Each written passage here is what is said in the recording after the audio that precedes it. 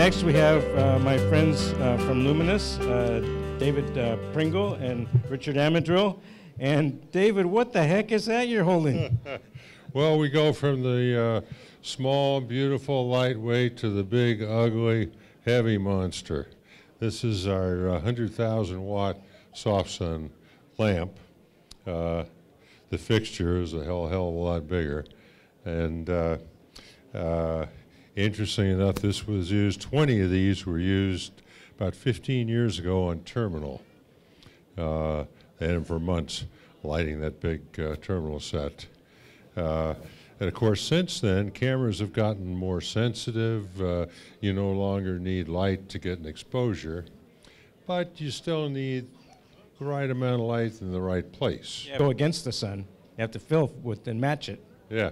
So uh, uh, that being said, uh, Beauty and the Beast is about to come out, and they used 10 of these on one stage just you know, very recently, in spite of the uh, sensitive CMOS sensors and everything. They wanted a very even, soft, even, very even light. Uh, so uh, although there were 10 of them, they, they reportedly only ran them at 15%. Uh, well, they're great for daylight fill as well. That's sort of the original idea, right? Yeah, daylight fill and uh, uh, the Hobbit used them, and the reason they used them is not because the cinematographer ordered them, but because the production manager ordered them.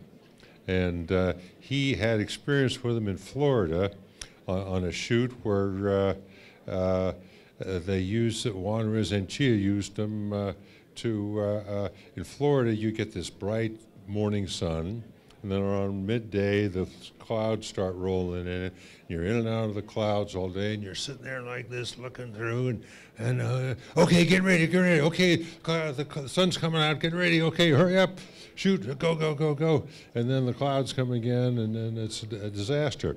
So he used these two uh, uh, two of them on a condor uh, to establish a, a, a level and uh, sun in and out, in and out, didn't matter. Boy, a couple of he fought us tooth and nail. I don't need those damn things. That's a bunch of crap. We don't need those. But the uh, cinematographer prevailed. And uh, a couple weeks later, the production manager called us. He said, "Thank you so much. Those lights have saved my ass so many times." And he ordered. He went to the Hobbit next, and he ordered them for that. They can extend their day this way. Yeah, extend your day. Uh, another name for it is the overtime light. uh, anyway, we've been doing this kind of stuff for, I hate to think how long, uh, good 25 years or more. Uh, starting with the lightning strikes, you know, the brief, uh, same kind of, it's very similar lamp technology, uh, but instead of a 100,000 watts being this big for continuous, we can get a 70,000 watt in something this long for one and a half seconds at a time. And those were the champions for uh, flicker. They were great, didn't flicker under any conditions, uh, any of your lights. So why is that? Since we specialize in high intensity lighting, uh, we've been doing car crash testing stuff, and the car crash guys said, "Oh, we got to have LEDs. We got to have LEDs." And uh, so I said, "Okay, okay." At that time, the LED color was not very good, but those guys don't care about color. They don't even know what it is. So we, so we started doing that. We started doing this this sort of thing uh, uh, for uh, car crash testing. 1,000, 1,200 watts for 10 seconds for a car crash test.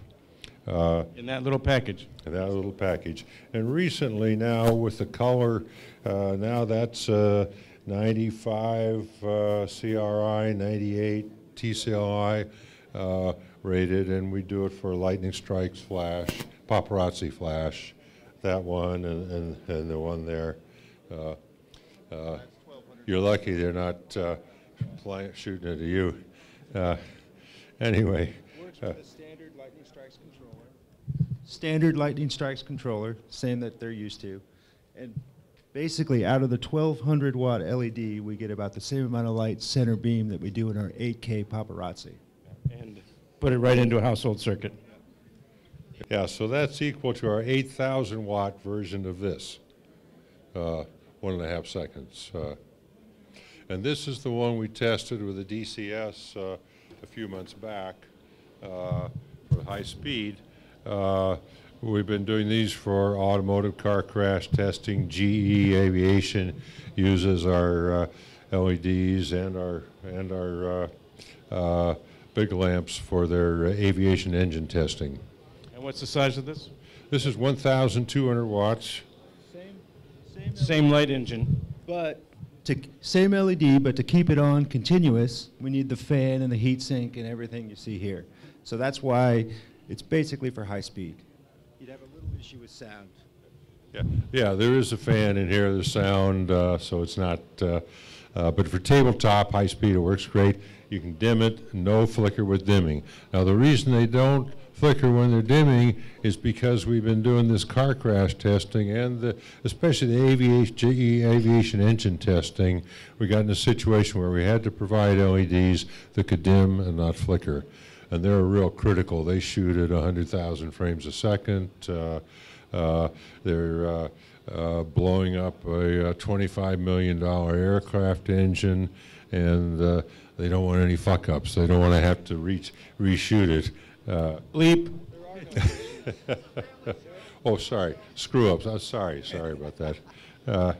Uh, anyway, so we developed power supplies, uh, did some modifications and a lot of testing and R&D, and got power supplies that you can dim and don't flicker. Now, your model is mostly rental, I understand? Primarily rental, especially our traditional big stuff. Uh, uh, and most, for most people, it doesn't make sense to buy it, and, and, and it's an occasional thing. Some of our LEDs uh, uh, we do sell.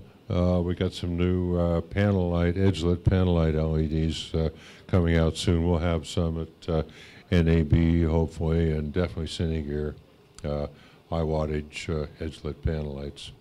Well, we'll see you there. Yes, sir. Thanks, James.